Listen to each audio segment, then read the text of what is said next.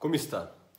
Eu sou o Dr. Fernando Lemos, coloproctologista do Rio Grande do Sul, especialista das doenças do intestino, do reto e do ânus. E neste vídeo eu quero falar sobre a mentira da limpeza ou desintoxicação do fígado e da vesícula biliar. Antes de começar esse vídeo, eu gostaria de pedir para você encarecidamente mais uma vez vamos nos unir, que eu sei que eu tenho uh, amigos aqui no Planeta Intestino, pessoas que sempre atentam aos, às minhas convocações.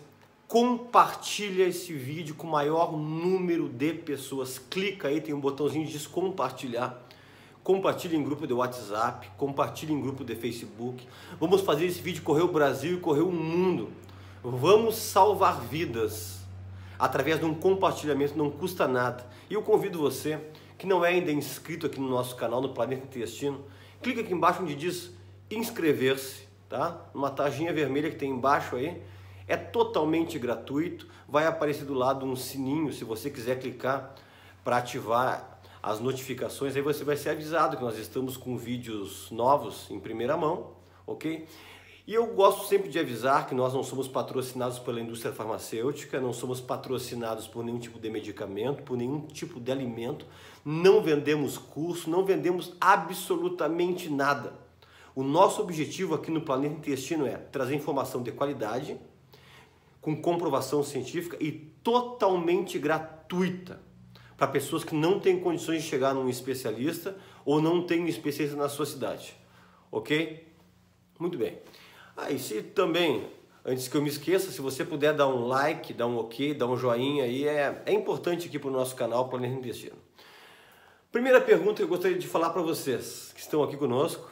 Ultrapassamos a marca de um milhão de inscritos no canal, isso deve-se a você, aos teus compartilhamentos né? e a tua gentileza de poder fazer que chegue essa informação a muitas pessoas e você fazer o bem a pessoas que vocês nem sabem que existe nesse mundo. Isso aí que é o interessante, que é o altruísmo do indivíduo, né? Você fazer o bem a quem não é seu amigo, quem não é seu familiar. Vamos continuar nessa nesse desejo de continuar fazendo isso. Muito bem.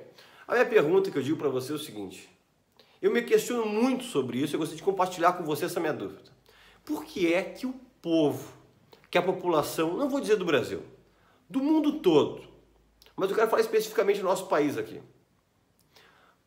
É tão fácil acreditar em modismos, em, em picaretas, em invencionices. Às vezes, algo que parece ser fácil de entender, mas não tem ciência nenhuma, do que acreditar na ciência, acreditar em pessoas em especialistas que talvez não são tão carismáticos, não dão tanta risada como, como as pessoas gostam de ouvir, uh, que não fazem tanta propaganda. Por que é tão mais fácil acreditar no picareta do que a pessoa séria? Me pergunta isso aí. Desculpa minha indignação, mas eu estou me abrindo para você. Por que é tão mais fácil acreditar numa mentira do que acreditar numa verdade? E essa história da desintoxicação do fígado, desintoxicação da vesícula, que tem muitos vídeos, muitas pessoas falando, né? Eu não tinha nem pensado em ter que falar sobre isso aqui. Falei em relação sobre essa mentira, que não tem comprovação científica nenhuma. São orientações totalmente informais, invencionistas da cabeça de um, que juntou com invencionistas da cabeça de outro, e está passando adiante. Isso aí está causando tantos males. Mas eu fui obrigado a me manifestar, mesmo muitas pessoas já pedindo para eu falar em relação a isso, porque nesses últimos 14 dias chegou ao meu consultório e até uh, avaliações de outros colegas, pessoas com problemas gerados por causa dessa falácia, dessa mentira, da desintoxicação do fígado e da vesícula. Primeiramente o seguinte, ó, eu não quero aqui ficar dando ibope por uma mentira. Eu não quero aqui ficar falando de receitas que cada um acrescenta alguma coisinha aqui que eu cheguei, numa delas, a primeira vez que eu li, eu cheguei sinceramente a rir. Como é que pode pessoas acreditar nisso? Essa dieta tem inúmeras, inúmeros. Tem sete passos, sete dias, umas pessoas fazem em 14 dias.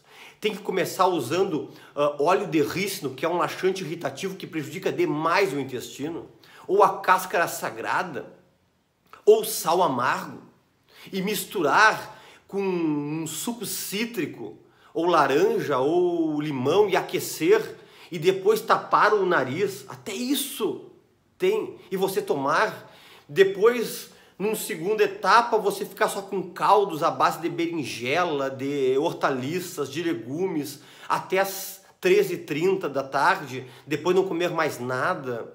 Depois no terceiro dia você tem que tomar mais uma dose de laxante, ou durante seis dias tomar só suco de maçã porque descobriram-se que tem um ácido que pode ajudar a limpar, desfazer pedras na vesícula, ajudar na gordura do fígado. Depois, no quarto passo, você tem que fazer uma lavagem intestinal com o enema.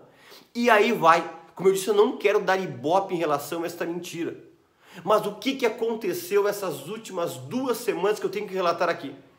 Tive avaliação de dois pacientes com hipotensão severa por dor abdominal severa, a pressão foi lá embaixo, pessoas que já eram hipotensas por causa desses usos desses laxativos. Teve um paciente que me chamaram do hospital com uma desidratação severa e dores abdominais intensas. E o paciente não tinha comunicado o que, que era. Aí eu comecei a conversar, ele me contou que viu um vídeo de um dito famoso das redes sociais explicando sobre a desintoxicação do fígado e vesícula e tinha tomado uma dose elevada de óleo de rícino e no primeiro dia tinha feito uso do sal amargo. E teve um outro paciente grave que teve uma laceração no reto, rasgou o anoderma, tentando fazer em casa essa lavagem intestinal com frit enema ou com fosfoenema, introduzindo para dentro essa ponteira sem ter conhecimento nenhum de como faz não chamou um técnico de enfermagem para ajudar, ou não foi num especialista para poder dizer é assim que se faz.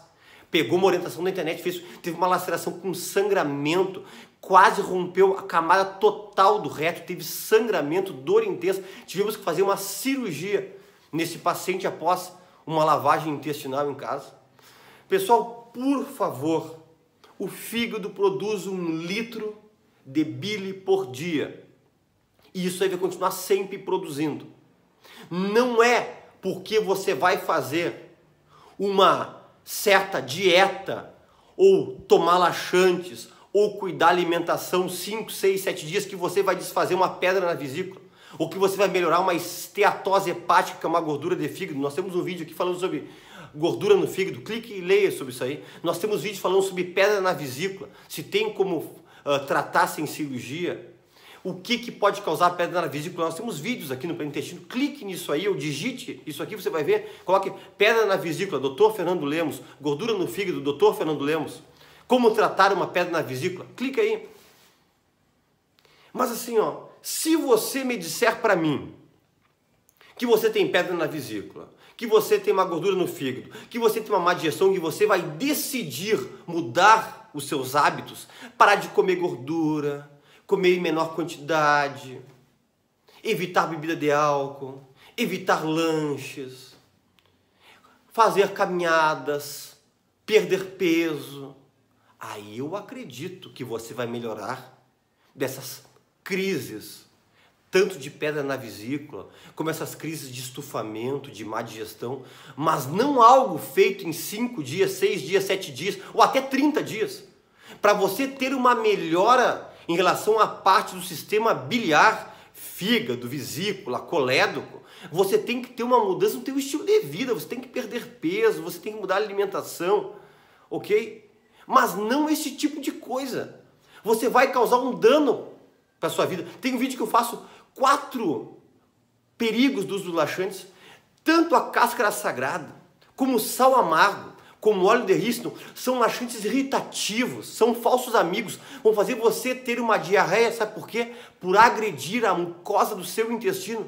E o intestino, por sentir-se agredido, vai ter que começar a se movimentar para eliminar aquele agressor que entrou na mucosa, tanto do delgado como no intestino grosso. E você vai começar a fazer isso é como uma droga. Você vai ficar dependente de uma droga dessas com doses cada vez maiores ok? vai fazer um enema, vai colocar uma ponteira dentro do seu reto, do seu ânus, sem ter conhecimento nenhum como você faz. E outra coisa que eu vou explicar para vocês, quando você faz uma limpeza com fosfenema, com flitenema, com enema glicerinado, que é essas lavagenzinhas do reto, você só afeta e você só limpa a parte final do reto.